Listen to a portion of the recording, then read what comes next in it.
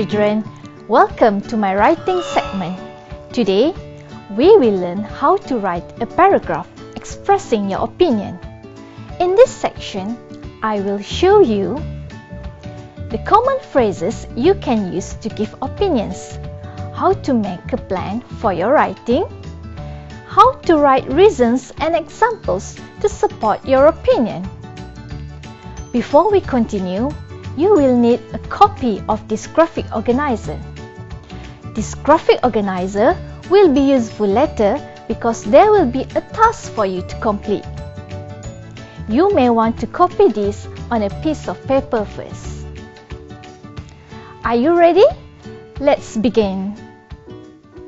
Your opinion is what you think or feel about something. People can have different opinions. Some people may be of the opinion that pizza is healthy, while others feel that pizza is unhealthy. That's their opinion. We can share our opinions with others by writing about them. In today's program, we will look at phrases you can use to share your point of view. Many phrases are suitable in everyday speech, and some types of writing such as on blogs and personal websites. You have probably already seen or used some of these phrases. I think, I believe, I feel, in my opinion, I would say. For example, imagine you have your own food website and you are writing or talking about the world's best street food you might say, In my opinion, Penang has the best street food in Malaysia. Now, let's look at a few phrases that are more common in formal situations. You might, for example, hear one of these at a business meeting or a conference, or in a formal paper. From my point of view, from my perspective, it seems to me that, in my view, here's an example. In my view, the use of plastic bags should be banned. They are made from non renewable sources and contribute to climate change. Now, are you ready to start writing your opinion? Our topic is e-books are much better than paper books and will eventually replace them. Do you agree? Before we continue, let's define what is e-books. Many dictionaries define the e-book as an electronic version of printed book. E-books are usually read on hardware devices known as e-readers or e-book devices. Personal computers and some mobile phones can also be used to read e-books you can use the graphic organizer that I showed you just now to plan your writing. Let me show you. I'll put my opinion in the middle and the four reasons around it. Remember, giving reasons and examples will add strength to your opinion. Here's the plan. My opinion is that e-books are better than paper books. Now, I need to think of some reasons to support my opinion. I can ask myself, why are ebooks much better than paper books? Paper books, especially hardcover editions, can be very heavy. I really like using ebooks as they can be saved on devices that are small and handy to be carried anywhere. So, I will add this reason to my graphic organizer. What else? Oh, we can save paper and trees by reading e-books. It is more environmentally friendly than paper books, so I will add eco-friendly. I also feel that using e-books is very easy. I can have access to thousands of books anywhere since e-books are just digital copies carried in devices. If I have to go for a long tour, I definitely don't want to carry a lot of books in my luggage. I just need one more reason. I think using ebooks is also great because I can have access not only to bookshops but also libraries. Many libraries now offer ebook loans in addition to their print book offerings. There, my plan is complete, so I'm ready to start writing. First, I will write the topic sentence by stating my opinion. And then, I'm going to write the reasons to support my opinion based on the plan of my writing. Ebooks are becoming more and more popular and there are many reasons for this. In my opinion, ebooks are better than paper books. Firstly, ebooks are quite lightweight, making it much more portable than physical books. Ebooks are also more eco-friendly than paper books. By having electronic versions of books, we save paper, trees, and indirectly our planet. Now, for the next reason, I also include some examples. Besides, ebooks are in many ways more convenient than paper books. For, exa- for instance, you can store thousands of ebooks in the same space you would need for one paper book. Just think of how convenient that can be for school or when traveling. Here, I also use linking words and phrases like besides and for instance to connect my ideas. And for the last reason, in addition to online bookshops, many lending libraries also have ebook collections now. In other words, if you want to buy or borrow a book, you don't have to wait for opening hours or delivery. The way I see it, ebooks are the future and will eventually take the place of paper books. I have finished my paragraph by rephrasing my opinion. So, now I have a complete paragraph with all four of my reasons to support my opinion about ebooks. Now, it's your turn to try it you can write your opinion about how paper books are better than ebooks. Use the graphic organizer to give your reasons and write a paragraph expressing your opinion. Remember, when you write, state your opinion clearly. Develop the paragraph by stating your supporting arguments and any necessary explanation. If possible, Give examples to make your point clear. End the paragraph by rephrasing your opinion or making a general comment. Don't forget to use linking words or phrases to list points, add points, give examples, and your opinion. That's all the tips I can think of for this section. I hope you have learned new things from this video. Thank you for watching. Bye!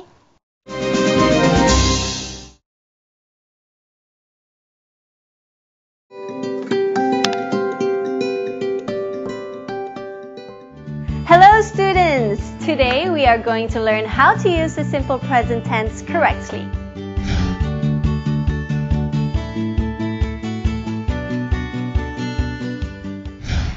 English language is unique because the verb is always affected by time or when the action has taken place.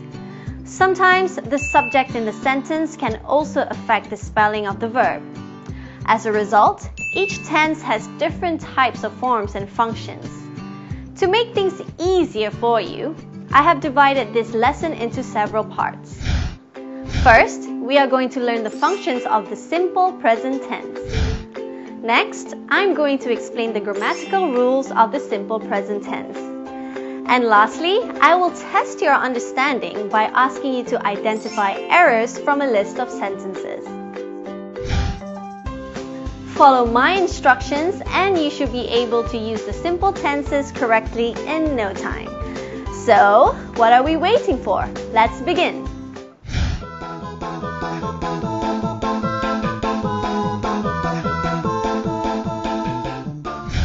The simple present tense has two functions. First, we use the simple present tense to state a general truth or fact.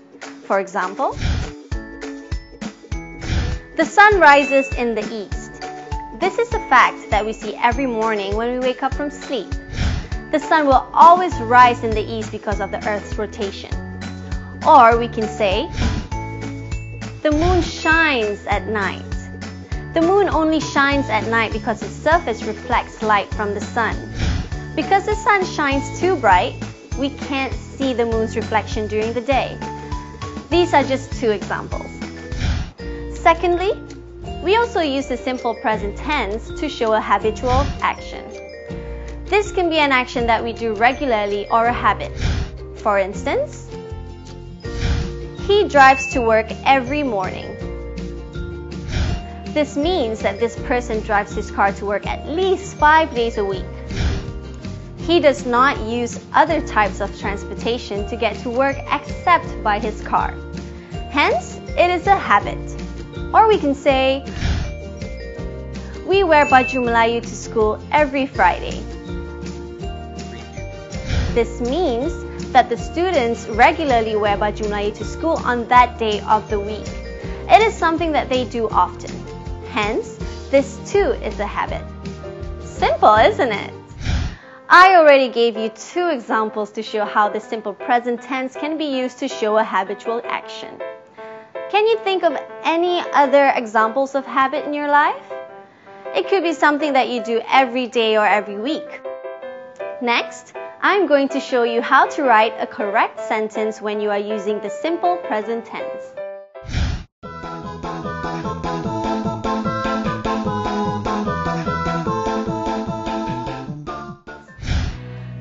A complete sentence, we need to have a subject and a verb.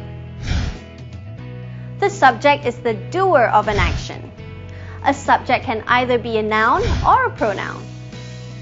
A verb, on the other hand, is an action that has taken place in an event. The subject can also be divided into two types, which are singular subject and plural subject. A singular subject means that there is only one person involved in the action while a plural subject means that there is more than one person involved in the action. The subject plays an important role when we are using the simple present tense in a sentence. This is because the verb is always affected by the subject. Let's look at these examples to have a clearer picture about this rule.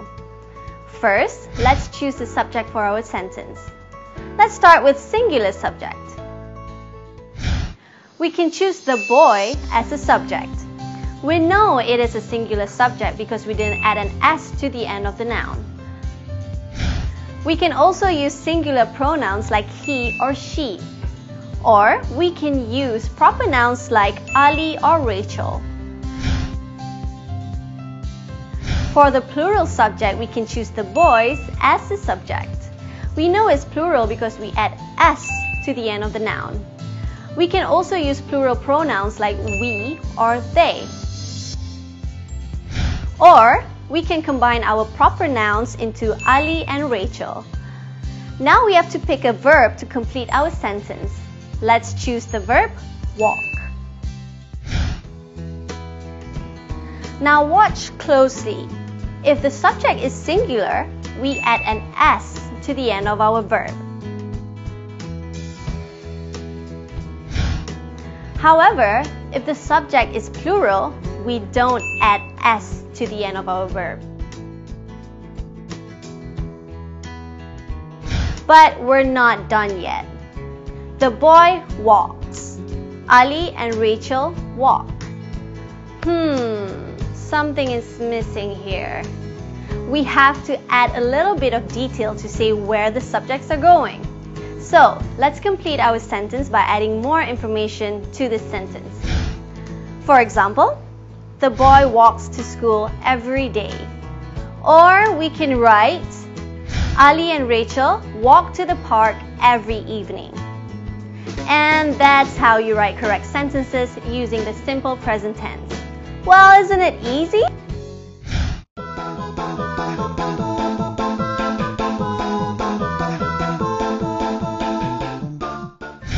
To test your understanding about the simple present tense, let's see if you can identify some common errors in these sentences. He eats cereal for breakfast every day. Mamat and Ravi goes fishing at the lake every weekend. In order to identify the errors in these sentences, you need to identify the subject in each sentence. By doing so, you can easily pinpoint the errors. You can apply this skill when you are writing your essay in the future. Well, are you ready? Let's check the answers. Our first sentence is He eats cereal for breakfast every day. First, we need to identify the subject. The subject for this sentence is the pronoun he. It's a singular subject. Meanwhile, the verb in this sentence is eat. Compare the subject and the verb. Can you identify any error? If you look closely, the verb doesn't match the subject that we are using. He is a singular subject. So we have to add s to the verb eat. So the correct sentence will be He eats cereal for breakfast every day. Did you answer correctly? Well done! Now, let's move to the next sentence. Our second sentence is Mamat and Ravi goes fishing at the lake every weekend. Now, let's identify the subject for this sentence. The subject in this sentence is Mamat and Ravi. Like our previous sentence, the verb doesn't match the subject that we are using.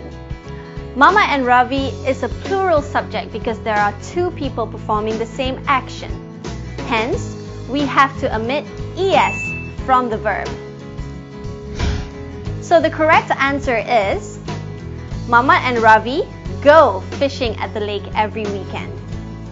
If you answered correctly, this means you have mastered the simple present tense. Well done! That's all for me. Thank you so much for watching. Till next time, bye bye.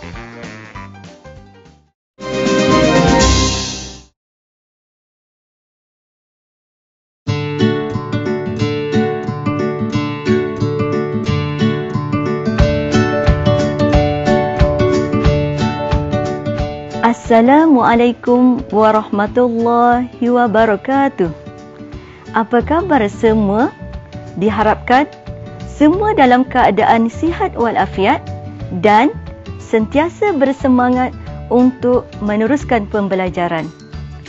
Pada hari ini, murid-murid akan bersama-sama dengan saya, Ustazah Nur Asia, untuk mempelajari mata pelajaran pendidikan Islam. Topik yang akan dibincangkan pada kali ini ialah tajuk bidang sirah dan tamadun Islam pelajaran ke-23 iaitu perkembangan ekonomi pada zaman kerajaan Abbasiyah. Sebelum ustazah meneruskan perkongsian topik ini adalah lebih baik murid-murid dapat menyediakan pen dan buku nota untuk mencatat isi-isi penting berkaitan tajuk ini. Pada akhir pembelajaran nanti, pastikan murid-murid dapat yang pertama menyatakan sektor utama ekonomi kerajaan Abbasiyah. Yang kedua, menjelaskan sumber keuangan kerajaan Abbasiyah. Yang ketiga, menerangkan peranan Baitumal pada zaman kerajaan Abbasiyah. Dan yang terakhir, menghuraikan kesan pembangunan ekonomi terhadap rakyat pada zaman kerajaan Abbasiyah. Tahukah anda bila berlakunya perkembangan ekonomi pada zaman kerajaan Abbasiyah. Dan siapakah khalifah yang memainkan peranan penting dalam perkara tersebut? Ya, Alhamdulillah. Betul jawapan anda. Barangkali anda sudah mendapat info melalui pembacaan buku-buku berkaitan kegemilangan tamadun Islam ataupun melalui media masa. Baiklah murid-murid, perkembangan ekonomi pada zaman kerajaan Abbasiyah berlaku selepas Khalifah Abbasiyah yang kedua iaitu Khalifah Abu Ja'far Al-Mansur memindahkan pusat pemerintahan dari Damsyik ke kota Baghdad. Mengapakah kota Baghdad yang dipilih oleh Khalifah Abu Ja'far Al-Mansur? Dan apa pula keistimewaan kota Baghdad? Bagi memudahkan proses mengingat fakta ini, Ustazah lebih suka mencantumkan kesemua isi dalam satu perkataan pendek yang mudah difahami. Jawapannya ada di akronim KEPALA. Apa itu kepala?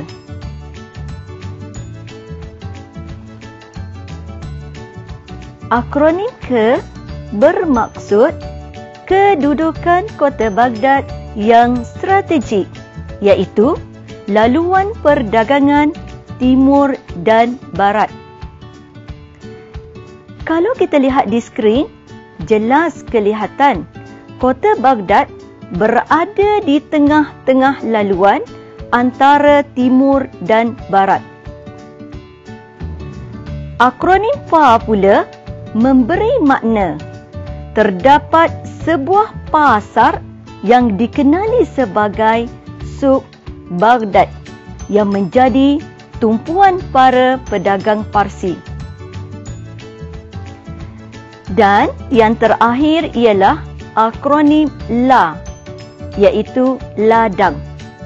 Terdapat ladang-ladang pertanian dan ternakan serta sebuah pasar yang dikenali sebagai Suk Al-Baqar. Baiklah murid-murid, mari kita lihat sumber keuangan atau sektor utama yang menyumbang kepada perkembangan ekonomi pada zaman kerajaan Abbasiyah. Tiga sumber tersebut Ustazah simpulkan dalam akronim 3P. Apakah itu 3P? P yang pertama memberi maksud pertanian. Manakala P yang kedua ialah perindustrian. Dan P yang terakhir ialah perdagangan. Mari kita tinjau pula perincian setiap sektor utama yang menyumbang kepada perkembangan ekonomi kerajaan Abbasiyah. Murid-murid yang ustazah kasihi sekalian, apakah agaknya yang dilakukan oleh Khalifah Kerajaan Abbasiyah dalam memajukan sektor pertanian. Baiklah, antara usaha para Khalifah Abbasiyah dalam memajukan sektor ini ialah dengan memulih dan menambah prasarana pertanian. Antaranya ialah membina saliran, melebarkan sungai dan terusan, membuat empangan, membuka tanah pertanian baru, membuat penyelidikan dalam bidang pertanian.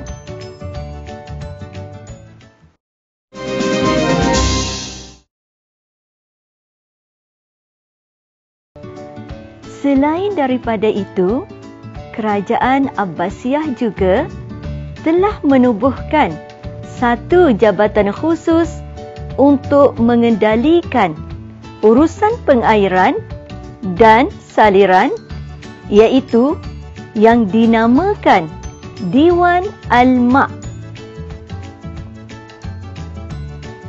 Hasil daripada langkah positif ini, kerajaan Abbasiyah telah muncul sebagai sebuah empayar terkemuka dalam bidang pertanian.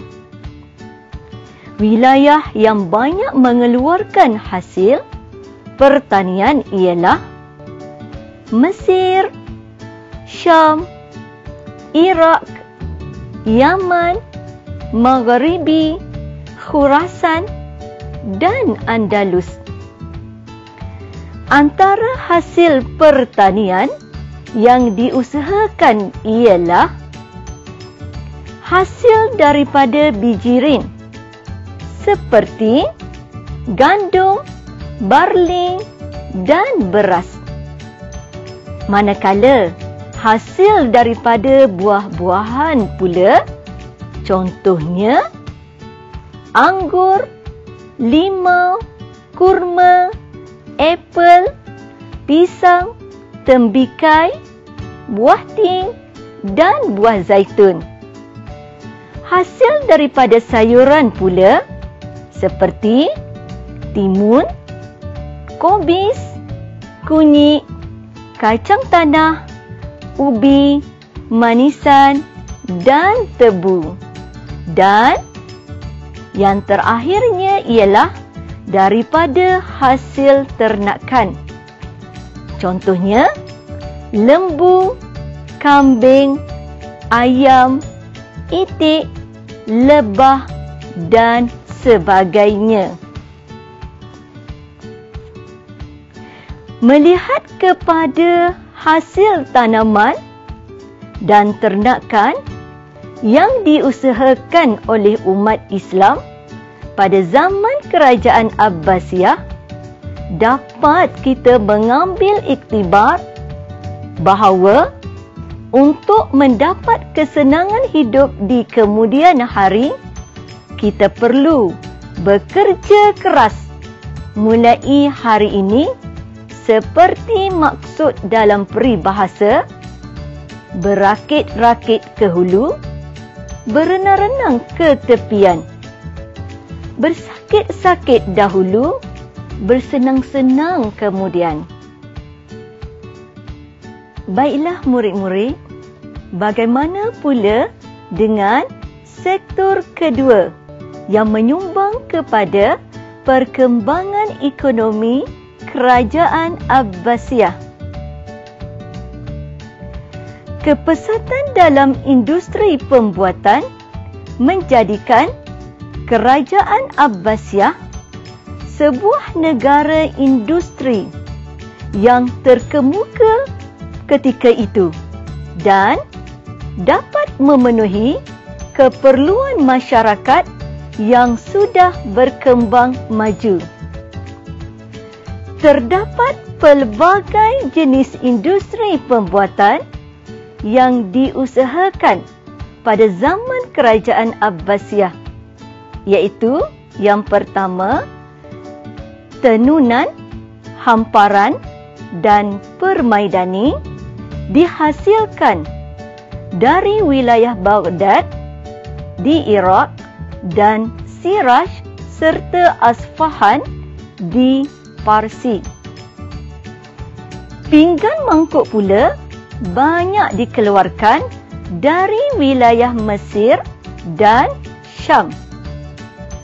Barangan kaca, tembikar dan mozaik dikeluarkan dari wilayah Baghdad, Mesir dan Syam. Manakala barangan kulit pula dan senjata dihasilkan dari wilayah Mesir Andalus dan Maghribi.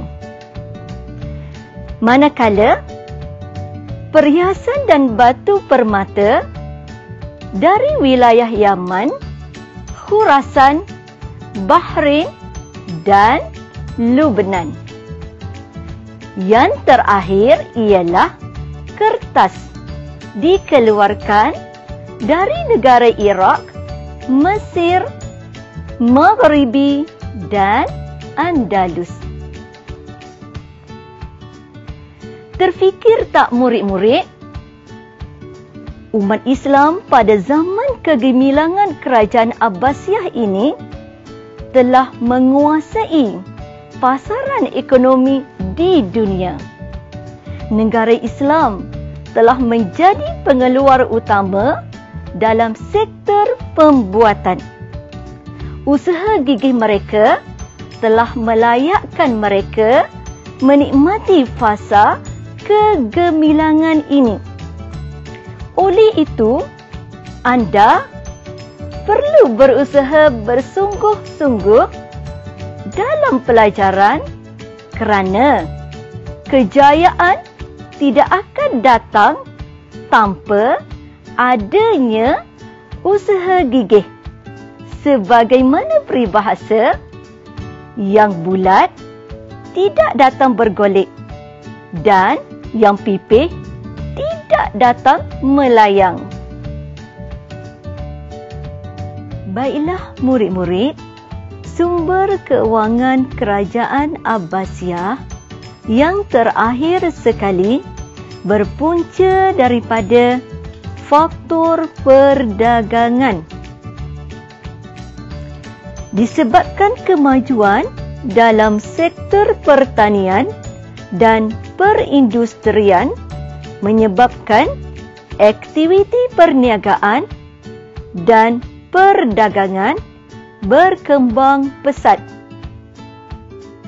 Selain itu, terdapat juga faktor lain yang menyumbang kepada kepesatan sektor perdagangan iaitu yang pertama pembukaan wilayah-wilayah baru yang memberi banyak ruang pasaran perniagaan. Yang kedua, perkembangan industri perkapalan memudahkan pergerakan para pedagang. Yang ketiga, sarjana-sarjana Islam telah menghasilkan karya-karya yang menjelaskan tentang hukum hakam dalam perniagaan dan galakkan dalam berniaga. Yang keempat ialah kemahiran orang Arab berniaga sejak zaman jahiliah lagi. Selain itu, kerajaan Abbasiyah juga telah memainkan peranan penting dalam perkembangan ekonomi kerajaan Abbasiyah. Contohnya, membina pusat-pusat perniagaan yang dilengkapi perigi di jalan-jalan utama yang kedua, membina rumah-rumah api untuk panduan kapal pedagang. Dan yang ketiga ialah mengetatkan kawalan keselamatan untuk mengelakkan daripada perompak dan lanun.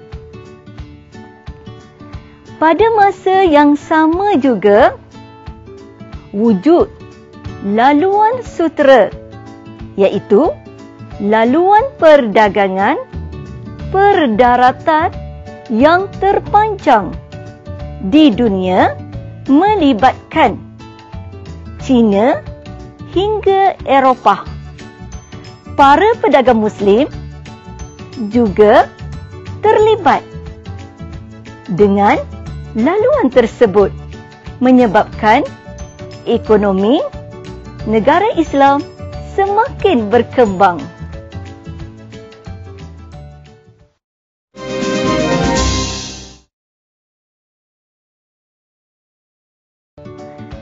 Baiklah murid-murid yang ustazah kasihi sekalian, kita masuk kepada isi kandungan yang kedua iaitu sumber keuangan kerajaan Abbasiyah. Terdapat enam sumber keuangan kerajaan Abbasiyah. Yang pertama ialah zakat. Zakat ialah kadar harta yang dikeluarkan oleh orang Islam terhadap harta-harta tertentu yang mencukupi had minimum iaitu nisab menurut syarat-syarat tertentu. Yang kedua ialah kharaj iaitu cukai tanah yang dikenakan ke atas milik orang bukan Islam dan milik orang Islam yang diperolehi melalui peperangan. Yang ketiga ialah ghanimah iaitu harta rampasan perang. Seterusnya ialah fight iaitu harta yang diperolehi melalui jalan perdamaian setelah pihak musuh menyerah kalah. Jizyah bayaran yang dikenakan kepada orang bukan Islam yang mendiami negara Islam. Dan yang terakhir ialah usyur iaitu bayaran tetap yang dikenakan ke atas kapal perdagangan bukan Islam yang singgah di pelabuhan negara Islam sebanyak satu per sepuluh. Jom kita tinjau pula isi kandungan yang ketiga iaitu peranan Baitul Mal dalam kerajaan Abbasiyah. Sebelum itu, Ustazah ingin membawa murid-murid mengenali dahulu organisasi yang terdapat di Baitul Mal pada zaman kerajaan Abbasiyah. Untuk pengetahuan semua murid, Baitul Mal diketuai oleh sahib Baitul Mal iaitu pengurus per- perbendaharaan negara. Peranan sahib Baitul Mal ialah menguruskan pendapatan dan perbelanjaan negara yang diketuai oleh Dewan Al-Kharaj iaitu Jabatan Hasil dan Dewan An-Nafaqah iaitu Jabatan Keuangan. Segala aktiviti kedua-dua jabatan ini dilaporkan kepada Baitul Mal dari masa ke semasa akaun Baitul Mal pula dikawal oleh Dewan Al-Usul iaitu Jabatan Dalam Negeri bersama dengan Dewan Al-Azimah iaitu Jabatan Audit Negara. Baitul Mal memainkan peranan penting dalam pengurusan keuangan negara iaitu sebagai pengurus sumber-sumber pendapatan negara menerusi Dewan Al-Kharaj iaitu Jabatan Hasil. Yang kedua, Dewan Al-Kharaj bertanggungjawab menguruskan kutipan cukai seperti al-kharaj, al-jizyah, al-ushur dan juga zakat. Yang keduanya ialah Baitul bertanggungjawab mengawal belanjawan negara melalui Diwan An-Nafaqah iaitu Jabatan Keuangan. Jabatan ini bertanggungjawab mengurus pendapatan dan perbelanjaan untuk semua jabatan kerajaan dan membayar gaji kaki tangan kerajaan.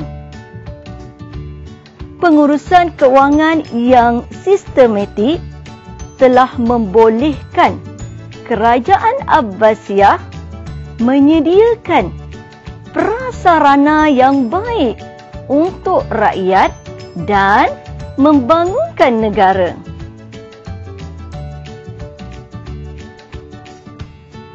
Melihat kepada kesungguhan pemimpin kerajaan Abbasiyah dalam meningkatkan ekonomi negara menyebabkan umat Islam pada zaman kerajaan Abbasiyah telah menikmati taraf kehidupan yang tinggi. Yang kedua, kerajaan dapat meningkatkan penyediaan prasarana untuk keselesaan rakyatnya seperti tali air, membina sekolah, membina masjid, jalan dan sebagainya. Selain itu, kepesatan sektor ekonomi telah membuka peluang pekerjaan kepada rakyatnya.